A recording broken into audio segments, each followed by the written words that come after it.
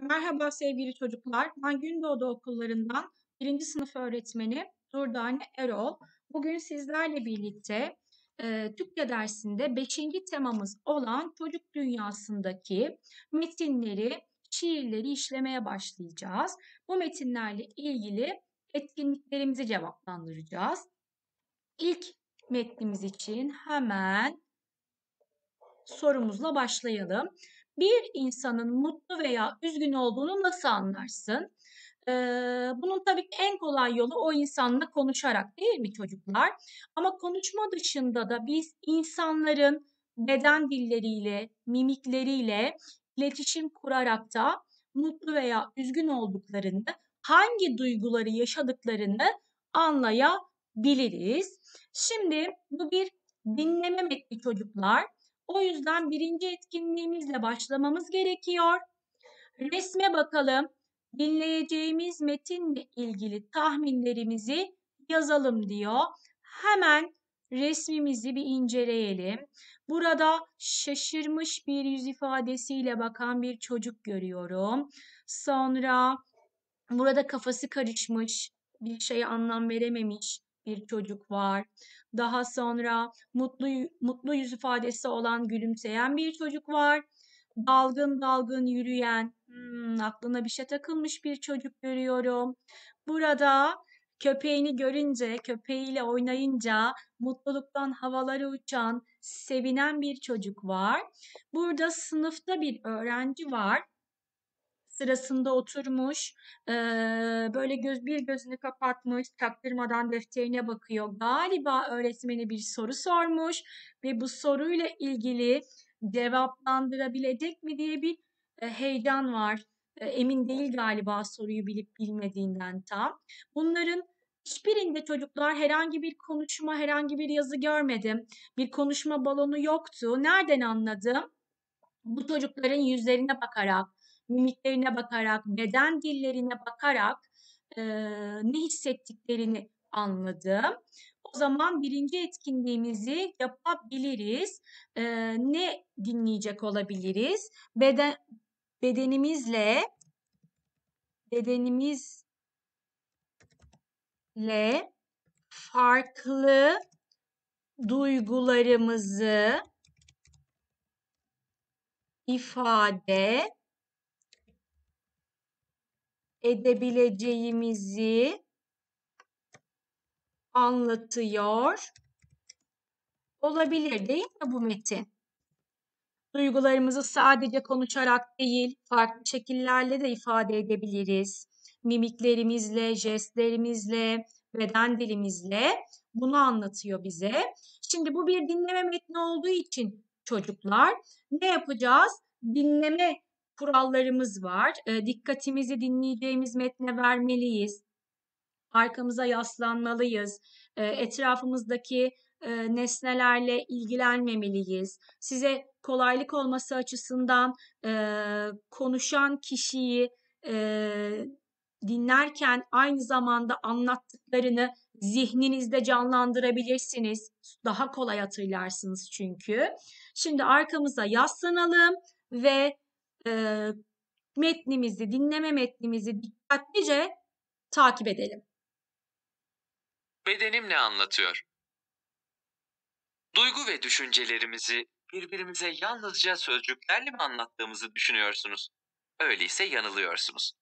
Biz fark etmesek de konuşurken bize eşlik eden ikinci bir dil var. Beden dili. Bu dilde beden duruşları, hareketler, yüz ifadeleri ve göz hareketleri birer araç. Bu araçları çoğu zaman farkında olmadan kullanırız. Beden dilimizden mutlu olmadığımız anlaşılabilir. Örneğin mutluyken gülümseriz. Çok sevindiğimizde gözlerimizi kocaman açar ve gülümseriz. Bir arkadaşımıza arkamızı dönüp oturduğumuzda arkadaşımız onu umursamadığımızı düşünebilir. Diyelim ki derstesiniz ve öğretmeniniz sınıfa bazı sorular soruyor. Soruların yanıtlarını çok iyi bilmediğinizi düşünüyorsunuz. Bu nedenle öğretmeninizin size soru sormasını istemiyorsunuz. Gözlerinizi öğretmenden kaçırıyorsunuz ve önünüzdeki defterin sayfalarını çevirmeye başlıyorsunuz. Diğer elinizle de yüzünüzü kapamaya çalışıyorsunuz.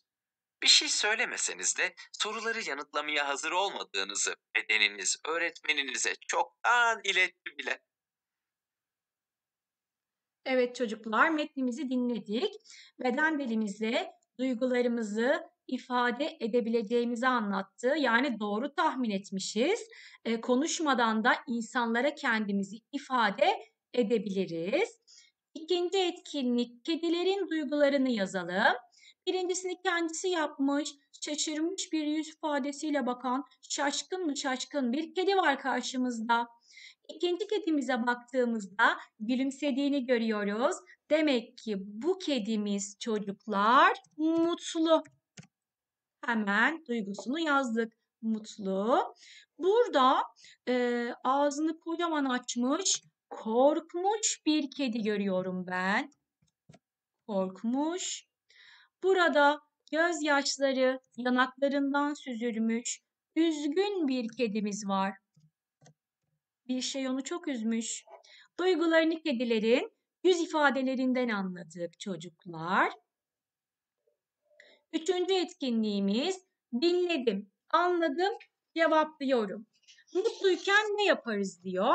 Mutluyken ne yaparız çocuklar? Gülümseriz, etrafımıza neşe saçarız, çok canlı bir şekilde cıvıl cıvıl konuşuruz değil mi? Haydi yazalım bakalım sizlerle birlikte. Mutluyken gülümseriz. Etrafımıza neşe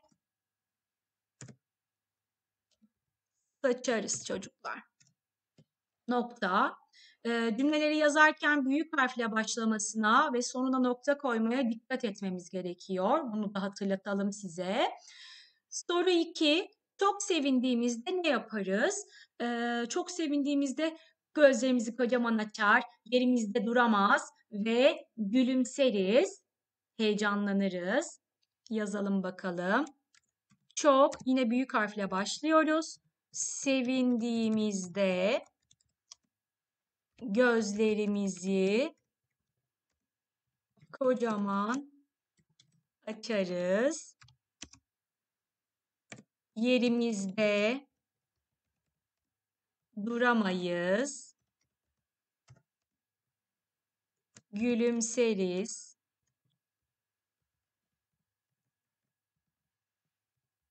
Nokta.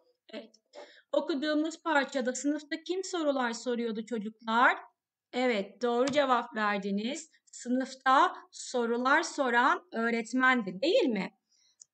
Büyük harfle başladık. Sınıfta öğretmen sorular soruyor. Cümlemiz bitti. Noktamızı koyduk. Bu etkinliğimizi bitirdik. Etkinlik 4. Bu cümleleri hangi çocuk söylemiştir? İlkini bize yine örnek olması için kendisi yapmış. Şaşkınlıktan gözlerim kocaman oldu. Bakalım bakalım nasıl olmuş gözleri? Oo gerçekten çok şaşırmış bu çocuk. Hemen diğerini yapalım. Teneffüste dalgın dalgın yürüdüm. Bu ikinci resim değil. Bire bakalım. Evet, dalgın dalgın yürüyen bir çocuk var. Belli ki bir şeyler düşünüyor. O zaman hemen bir yazalım. Buraya bir numaralı çocuk dalgın dalgın düşünüyor. Mutluluktan havalara uçtum. Evet, burada kocaman gülümseyen bir çocuk var. Mutluluktan kocaman gülümsemiş. İki numaralı görsel. Yaptığı davranıştan dolayı arkadaşıma kızdım. Hmm, arkadaşı onu kızdıracak bir hareket yapmış. Bu da gördüğümüz gibi 3 numarada yer alan çocuğun resmi oluyor. Bu etkinliğimiz de bitti. Sıra geldi 5. etkinliğe. Rüya ve Efe beden dilleriyle ne anlatıyorlar? Ee, çocuklar rüyaya baktığımda ben rüyanın mutlu olduğunu görüyorum. Bunu nereden anlıyorum? Böyle kocaman açmış kollarını ve gülümsüyor. O zaman yazalım. Rüyanın mutlu olduğunu anlatıyor.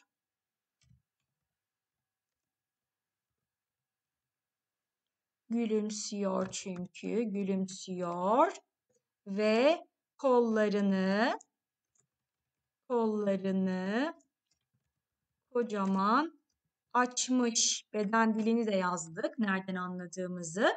Efe'ye baktığımda Efe'de bir kızgınlık görüyorum. Bir şeye kızmış. Bunu nereden anladım? Kaşlarını çatmış ve kollarını bağlamış. Efe'nin de beden dili kızgınlık anlatıyor bize. Yazalım. Kızgın olduğunu anlatıyor. Nereden anladık bunu? Kaşları çatılmış ve kollarını bağlamış. Değil mi? Beden dilinden bunları anladık Efe'nin de çocuklar. Altıncı etkinlik neler hissederiz? Cümleleri uygun kelimelerle tamamlayalım. İlk başta ne yapmalıyız? Bu kelimelerimizi okumalıyız. Heyecanlanırım, üzülürüm, mutlu ve şaşırırım. Dört tane kelimem var. A şıkkındayım. Hayvanlara yardım ettiğimde mutlu olurum. Hemen yukarıdan mutlu kelimesini çiziyoruz. Bunu kullandık. B şıkkındayız. Hiç beklemediğim anda arkadaşım bana sarıldığında, size biri hiç beklemediğiniz bir anda sarıldığında yukarıdaki duygulardan şaşırma duygusunu hissedersiniz. Şaşırırım. Değil mi? Evet. Şaşırırım. Hemen şaşırırımı da çizdik. D şıkkındayız. Karnemi almayı beklerken ne hissedersiniz? Siz de ilk karnenizi aldınız birinci sınıfın ilk döneminde. E, heyecan duyarsınız değil mi? Karnemi almayı beklerken heyecanlanırım. Heyecanlanırım. Bunu da çizdik. Son yerdeyiz. Arkadaşım benimle oynamadığında ne hissedersiniz? Üzülürsünüz, değil mi? Üzülürüm. Evet, bu kelimemizi de bulduk. Beşinci ünitemizin ilk konusu olan çocuklar Bedenim Ne Anlatıyor adlı dinleme metnini sizlerle birlikte işledik. Ee, bedenimizle duygularımızı anlatabileceğimizi, mimiklerimizle neler hissettiğimizi, e, karşı tarafın gördüğünü anlattık. Beni dinlediğiniz için teşekkür ediyorum. Bir sonraki derste görüşmek üzere diyorum çocuklar.